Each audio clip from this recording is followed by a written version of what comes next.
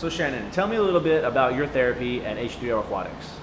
Uh, my therapy is kind of a joint with all the physical therapists, just whoever's available. Uh, they help me with walking better and applying more pressure to my leg. Uh, also with uh, gaining back some mileage because I was a runner and I'd love to return to that. And what are some of the conditions that you come and use the heated therapy pools for?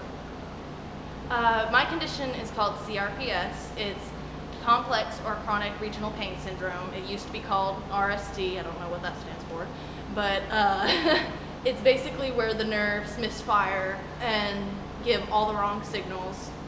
It tells my leg it's in pain when there's nothing wrong. It'll turn it purple because it tells the veins that I don't need any blood when I really do. It's still kind of living.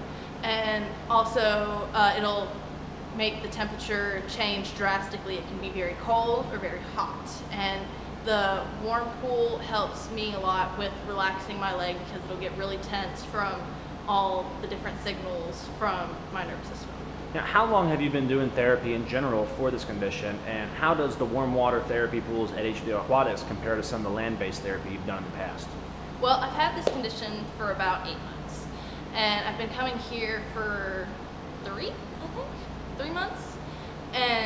this is such a different thing than the land therapy because with CRPS, different textures of the floor, different uh, putting pressure on it on land is a lot harder for us with CRPS than it is for other people who simply have a knee replacement. While that can be hard, we ours is harder for a different reason.